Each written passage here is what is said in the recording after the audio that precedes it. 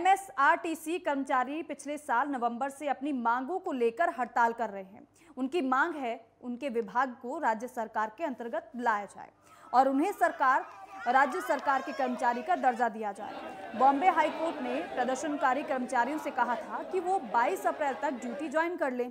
High court का आदेश आने के बाद राज्य परिवहन मंत्री अनिल परब ने सभी प्रदर्शनकारी कर्मचारियों को भरोसा दिलाया था कि अगर वो सुप्रीम कोर्ट की डेडलाइन से पहले ड्यूटी ज्वाइन करते हैं तो उनके खिलाफ कोई एक्शन नहीं लिया जाएगा। इसी बीच प्रदर्शनकारी कर्मचारी मुंबई में शरद पवार के घर सिल्वर ओक के सामने पहुँच गए और प्रदर्शन करने लगे। वहीं उन्होंने शरद पवार और सरकार के खिलाफ नारेबाजी शुरू कर दी। इस दौरान कई कर्मचारियों ने शरद पवार के घर पर चप्पल भी फेंकी। वहीं शरद पवार के घर हुए हंगामे की जाँच मुंबई के joint CP law and order करेंगे। सिक्योरिटी फेलियर और इंटेलिजेंस फेलियर की जाँच अब की जाएगी।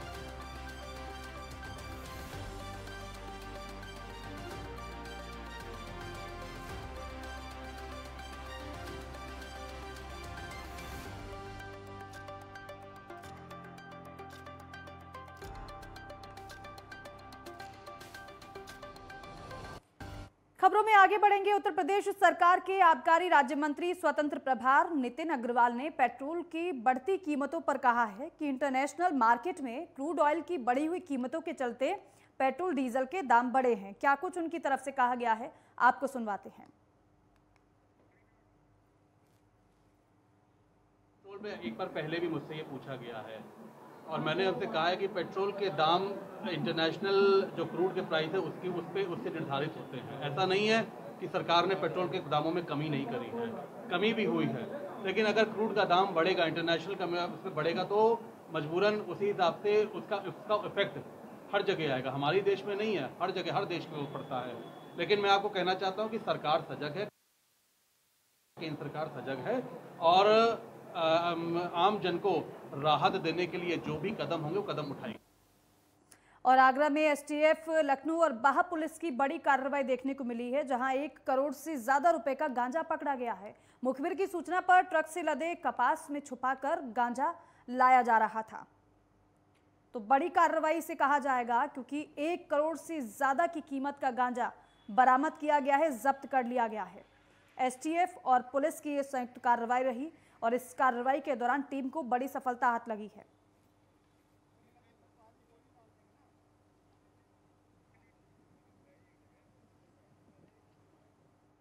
और धौलपुर के रेलवे स्टेशन पर यात्रियों से टिकट चेक कर रहे और उनसे पैसे ऐंठ रहे एक फर्जी टिकट कलेक्टर को गिरफ़्तार किया गया है।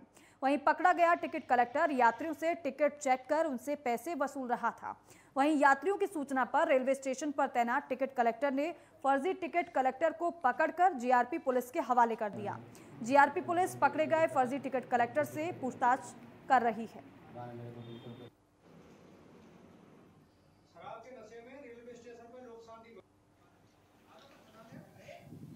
चार दो हज़ार बाईस को समय करीब बारह बजे Hemant Kumar TC railway station Dholpur द्वारा एक व्यक्ति अजय परमार सनौप श्री बनवारी सिंह परमार, जाति ठाकुर उम्र इक्कीस साल, निवासी भामतीपुरा जिला धौलपुर को किसी व्यक्ति की सूचना पर छोटी लाइन प्लेटफॉर्म नंबर एक रेलवे स्टेशन धौलपुर से पकड़ा गया। प्राथमिक कार्रवाई में नशा शराब का मेडिकल मुआयना कराया जाएगा। उसके बाद एस एच साहब को पेश करके जो भी कार्रवाई हुई अमल में जाएगी और छत्तीसगढ़ के मुख्यमंत्री भूपेश बघेल अंतागढ़ विधानसभा के ग्राम अमाकड़ा में आयोजित उत्सव में पहुँचे। यहाँ कार्यक्रम को संबोधित करते हुए अंतागढ़ वासियों को अनेकों सौगात दी गई। उन्होंने कोयली बेड़ा, अमा बेड़ा, बांदे को तहसील का दर्जा दिया जाएगा, ये कहा, और साथ ही साथ वहाँ जिला सहकारी बैंक की स्थापना की जाएगी। अंतागढ़ और इसके अलावा पंखाजूर के कॉलेजों में स्नातकोत्तर की कक्षाएँ शुरू की जाएँगी। मुख्यमंत्री ने यह भी कहा। साथ ही साथ उन्होंने कोयली बेड़ा अमाबेड़ा, बांदे को तहसील का दर्जा दिया जाएगा और वहाँ जिला सहकारी बैंक की स्थापना की जाएगी। उनकी तरफ़ से कई बड़ी घोषणाएँ की गई। अंतागढ़ विकासखंड के गाँव में 10 गोटुल और 10 देवगुड़ी निर्माण की घोषणा मुख्यमंत्री ने की। साथ ही साथ अंतागढ़ और पंखाजूर के कॉलेजों में स्नातकोत्तर कक्षाएँ शुरू की जाएँगी। इसके अलावा कोयली बेड़ा में बालक छात्रावास नागर बेड़ा में प्री मैट्रिक छात्रावास और आमाकड़ा में बालक आश्रम शुरू किया जाएगा।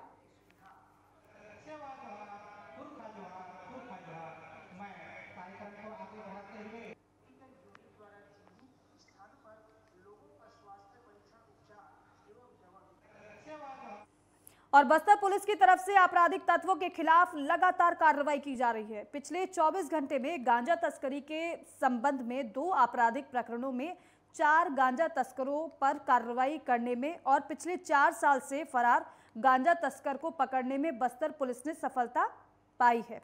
चौकी बकावंड को सूचना मिली थी कि कुछ गांजा तस्करों की ओर से उड़ीसा से जगदलपुर की ओर गांजा तस्करी की जा रही है।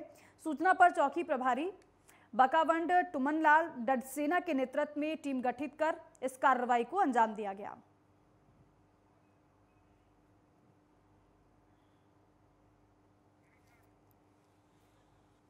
सूचना पर चौकी प्रभारी बकावन टुमनलाल डटसेना के नेतृत्व में टीम गठित कर रवाना किया गया था। उक्त टीम के द्वारा दसापाल क्षेत्र में जो है एक मोटरसाइकिल में जो सवार व्यक्ति हैं, उनकी पहचान कर घेराबंदी का रेड किया गया। इस रेड कार्रवाई के दौरान एक व्यक्ति मौके पर पकड़ा गया और दो अन्य जो है फरार हो गए थे। और इसमें बाद में पुनः एक टीम रवाना कर उड़ीसा के सीमांत क्षेत्रों में जो है दो अन्य तस्करों को भी पकड़ा गया है और इस मामले में जो है तीन तस्कर जिसमें से दो आरोपी और एक किशोर बालक, तीनों के कब्जे से जो है 25 किलोग्राम अवैध गांजा जो है बरामद किया गया है। और वही कोरबा में अपनी पदस्थापना के साथ ही एसपी भोजराम पटेल की ओर से कम्युनिटी पुलिसिंग के तहत अभिनव पहल की गई है, जिसके तहत खाकी के रंग, स्कूल के संग। शिक्षक सम्मान, पुलिस तुहर की ओर से कार्यक्रम आयोजित हुए। वहीं इसी कड़ी में 8 अप्रैल को एसपी की एक नई पहल पर जिला पुलिस की ओर से टीपी नगर स्थित राजीव गांधी ऑडिटोरियम में कोटवार सम्मेलन और गुम मोबाइल वितरण कार्यक्रम रखा गया। जिसमें अपने कार्यक्षेत्र में अच्छे योगदान करने वाले कोटवारों को प्रमाण पत्र देकर सम्मानित किया गया। निभा रहे हैं आदरणीय श्री प्रभाकर पांडे साहब, हमारे नगर निगम के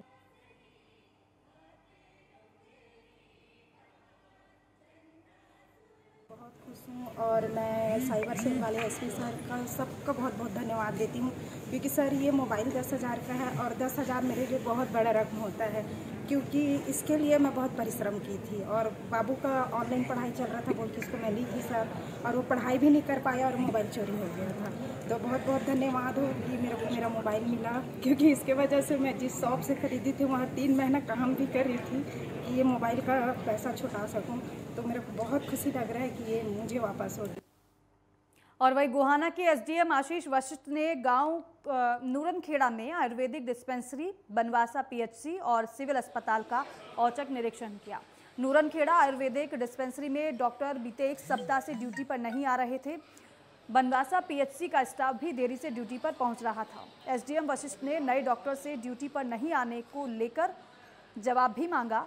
और वहीं पीएचसी स्टाफ को समय पर आने के निर्देश दिए गए हैं। एच डी वशिष्ठ ने गोहाना सिविल अस्पताल में स्वास्थ्य कर्मियों की मीटिंग बुलाकर व्यवस्था में सुधार लाने के निर्देश दिए हैं। इसके साथ ही साथ गोहाना नगर परिषद ऑफ़िस में पहुंचकर नगर परिषद अधिकारियों के साथ शहर में हो रहे विकास कार्य को लेकर बैठक की।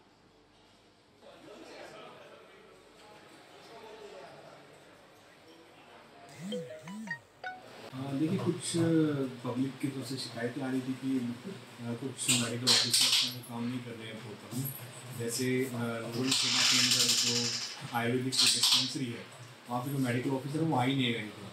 तो उसके लिए एक मोमेंट की थी जिसमें रूरल केड़ा बनवासा के जो पी एच सीज हैं और जो गवर्नमेंट आयुर्वेदिक डिस्पेंसरीज हैं, उसके अंदर हम गए थे और इसके अलावा जो सिविल हॉस्पिटल है, उसके बाद यहाँ आके सिविल हॉस्पिटल में एस एम साहब के साथ मीटिंग भी ली है और सारे स्टाफ को कहा है कि जो पब्लिक है, उसके लिए प्रॉपर वो जो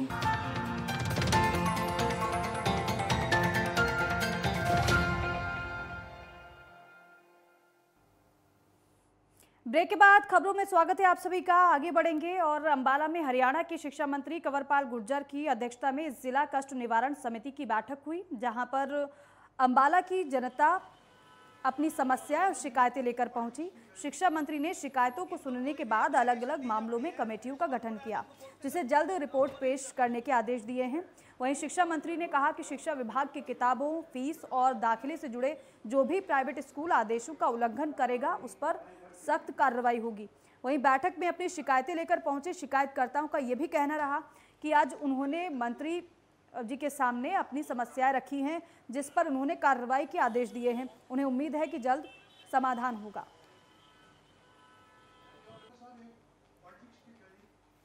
मैंने अपनी ज़मीन 2021 में ना जी बेची थी, जिसकी मेरी रजिस्ट्री थी अभी दिसंबर में, दिसंबर 21 में। तो मैंने नगर निगम में ये टाउन प्लानिंग पे गया ही टाउन प्लानर वालों ने मेरी एनओसी बना के दे दी, क्योंकि एनओसी से ही कृषि भूमि की रजिस्ट्री हो जाती थी। उसके बाद मैं जब तहसील ऑफ़िस में गया, तहसीलदार कहने लगा कि इसकी एनडीसी बनवा के लाओ। फिर एनडीसी बनवाने के लिए मैं कमेटी घर में गया जी।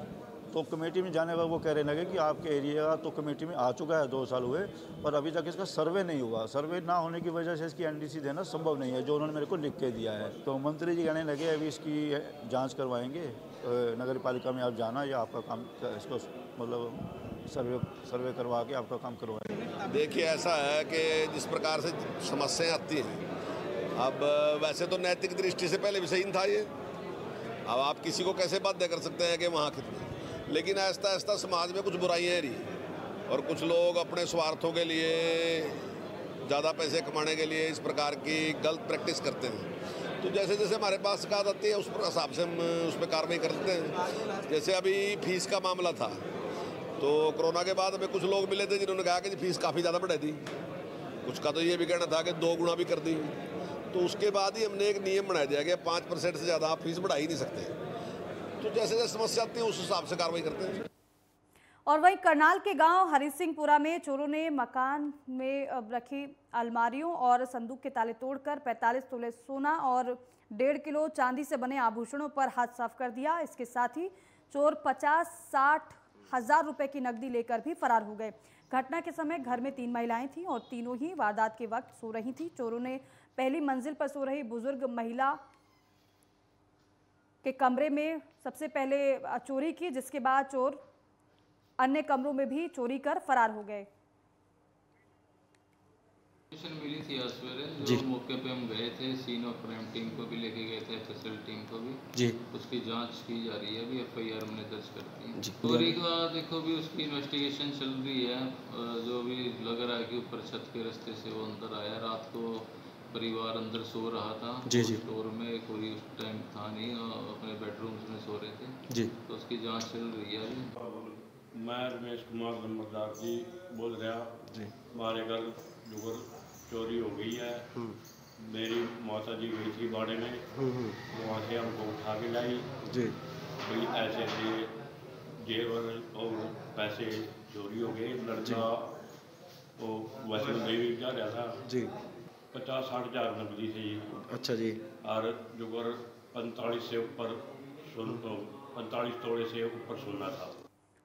और वही छत्तीसगढ़ के कोंडा गाँव में राष्ट्रीय राजमार्ग पर सड़क हादसे में युवक की मौत हो गई। वहीं दो अन्य लोग घायल हो गए। जानकारी यह है कि जगदलपुर से आ रही कार ने सड़क किनारे 10 फीट कार 10 फीट गहरे गड्ढे में गिर गई, जिससे ड्राइवर की मौके पर ही मौत हो गई। सूचना के बाद पुलिस पहुँची और घायलों को अस्पताल में भर्ती कराया।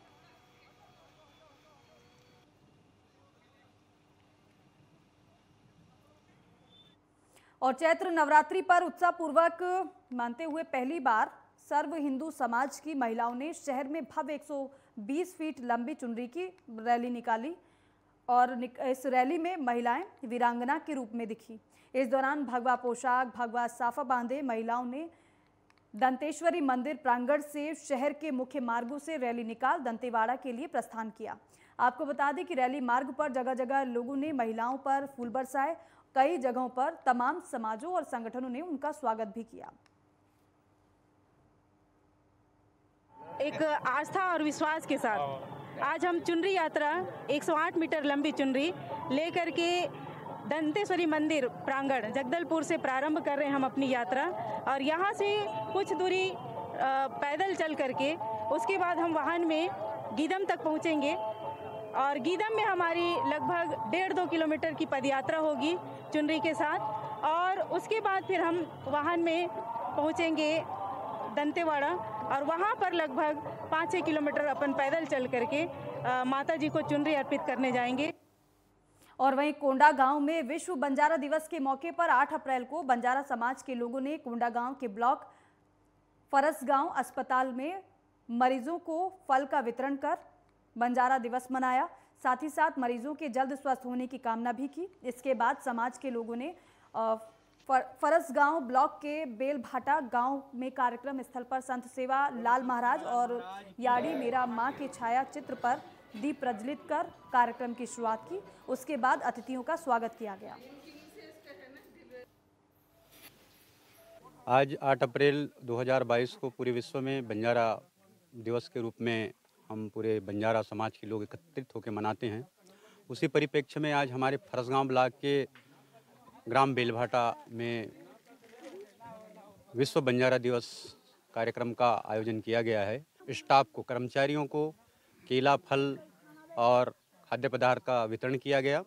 उसके पश्चात हम बेलभाटा में आकर, जो कि हमारे माकड़ी ब्लॉक से भी इस कार्यक्रम में सम्मिलित हुए हैं, सभी की उपस्थिति में आज हम 8 अप्रैल 2022 को हमारे धर्मगुरु संत सेवालाल महाराज एम याड़ी मेरामा की प्रतिमा पे पूजा अर्चना के पश्चात हम आज यहाँ पर एकत्रित होकर विश्व बंजारा दिवस का कार्यक्रम का अब समापन की ओर अग्रसर हुए और छत्तीसगढ़ में देश की सीमाओं पर अपनी जान हथेली पर रखकर हिंदुस्तान की रक्षा करने वाले वीर जवान अपने सेवा काल को पूरा कर गाँव वापस लौटता है तो परिवार, दोस्त, रिश्तेदारों की खुशी का ठिकाना ही नहीं रहता।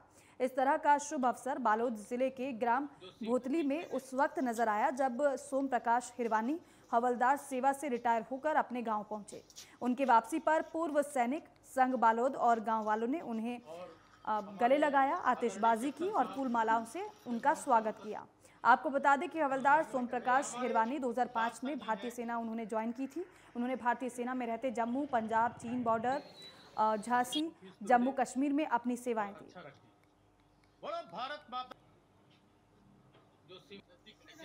बहुत ही अच्छा पहल है जो जन जागरूकता वरिष्ठ अधिकारियों के निर्देशन में अभी गांव-गांव में जन जागरूकता पुलिस टीम पहुँच कर कर रही है जिसका जागरूकता की वजह से गाँव वाले सेना में जो भी रिटायरमेंट होके आते हैं उसको मतलब सम्मान के तहत में पुरुष को गुल माला वगैरह लगा के उसका सम्मान करते हैं। ये बहुत ही अच्छा सराहनीय राष्ट्र धर्म ही धर्म सर्व यही मेरा वेदांत मर्म।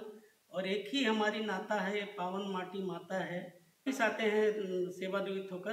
तो गाँव ही, गाँव के लोग तो स्वागत करते ही हैं, लेकिन शासन और प्रशासन के तरफ़ से भी उनका सम्मान करना चाहिए, क्योंकि सेना के कारण ही हम माँ भारती जो है सुरक्षित है, हम सुरक्षित हैं, वो सीमाओं में रक्षा करते हैं, न दिवाली मनाते हैं न होली नहीं मनाते हैं, और ऐसे पर्वों में भी वो और देखिए, शिक्षित समाज ही मौजूदा परिस्थितियों में समाज की दिशा और दशा बदल सकता है। शिक्षा के साथ संस्कार का होना भी बेहद ज़रूरी है। इस काम को बखूबी एकल फाउंडेशन कर रहा है। आगामी 10 अप्रैल को कानपुर के गणेश शंकर विद्यार्थी मेडिकल कॉलेज सभागार में एक शाम एकल के नाम से एक कार्यक्रम का आयोजन होगा, जिसमें प्रख्यात गीतकार और कवि मनोज मुंतशिर अपनी प्रस्तुति देंगे।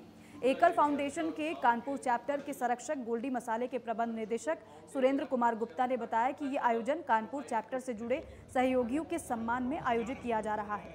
कानपुर चैप्टर की महिला विभाग की सचिव देविका मुखर्जी ने बताया है कि एकल विद्यालय में संस्कार परक शिक्षा के साथ साथ भारतीय संस्कृति के महत्व को सम, समझाने में बहुत ज़्यादा ज़ोर दिया जाता है। इस कार्यक्रम की जानकारी देने के लिए एक प्रेस कॉन्फ्रेंस भी की गई।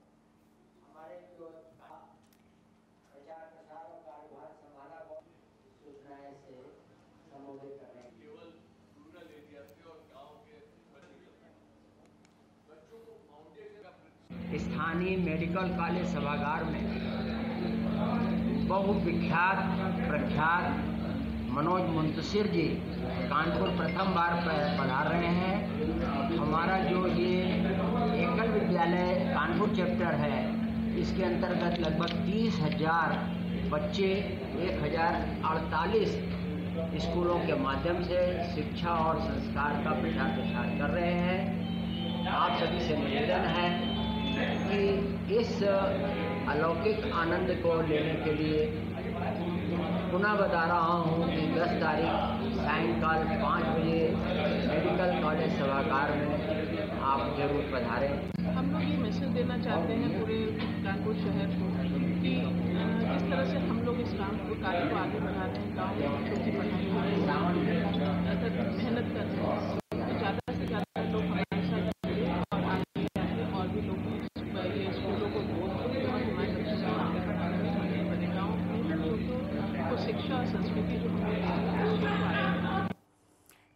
महामारी के चलते पिछले दो साल से कानपुर आईआईटी में अंतराग्नि सम्मेलन नहीं हो सका था, लेकिन इस बार फिर से उसी रूप में अंतराग्नि का भव्य सम्मेलन का शुभारंभ शुक्रवार को आईआईटी में हुआ।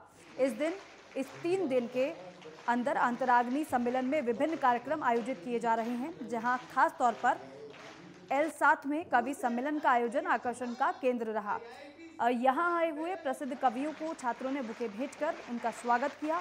वहीं सबसे पहले अपनी आवाज़ से कपिल शर्मा शो के स्क्रिप्ट राइटर कवि एकाग्र शर्मा ने सभी का दिल जीत लिया, जहाँ लोगों ने उनके हास्य व्यंगों को सुनकर वो जमकर ठहाके लगाते हुए नज़र आए। सभी ने तालियाँ भी बजाई और वहीं हिंदी गज़ल के क्षेत्र में अपनी पहचान रखने वाले सोनरूपा विशाल, जो कि बदायूं से हैं, उन्होंने अपनी गजलों से समा बाँध दिया। साथ ही साथ कवि सुदीप भुला एक अद्भुत व्यंगकार और हास्य कवि हैं, जिन्होंने अपनी चुटीली और मजाकिया शैली से सबको रिझाया तो वहीं अपने अंदाज में देश के वीर सपूतों को भी याद किया। अंत में जिसका सबको इंतज़ार था, वो गजलकार और शायर प्रसिद्ध अजहर इकबाल के आते ही तालियों की गड़गड़ाहट से हॉल गूंज उठा।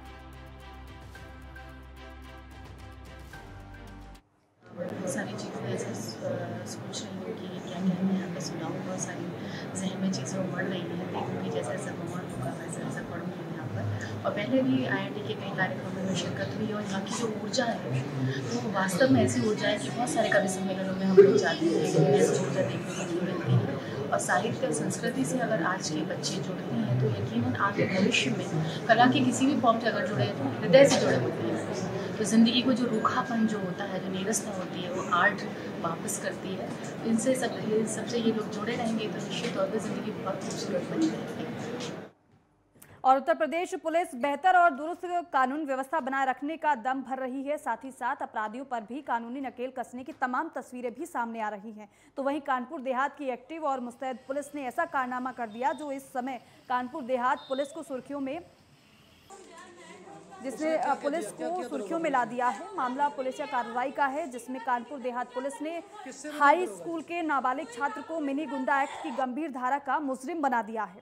दरअसल मामला 3 अप्रैल 2022 का है, जब एक दबंग युवक की छेड़खानी से परेशान होकर एक छात्रा ने जहर खा लिया था और पुलिस की लापरवाही के आरोप के चलते छात्रा ने अपनी जान देने का कदम उठाया था, जिसमें आरोप राजपुर थाना इंचार्ज कपिल दुबे पर लगाया गया था। सर्किट सिकंदरा के अंतर्गत थाना राजपुर, जनपद कानपुर, देहात की पुलिस के द्वारा एक नाबालिग के ऊपर 110 जी की कार्रवाई करने का मामला संज्ञान में आया है, जिसमें पुलिस अधीक्षक महोदय के द्वारा जाँच कराई जा रही है। जांचों उपरांत रिपोर्ट उनको बाद प्रेषित की जाएगी। और इन्हीं खबरों के साथ ही फ़िलहाल इस बुलेटिन में बस इतना ही। आप देखते रहिए नेटवर्क टेन। जय हिंद।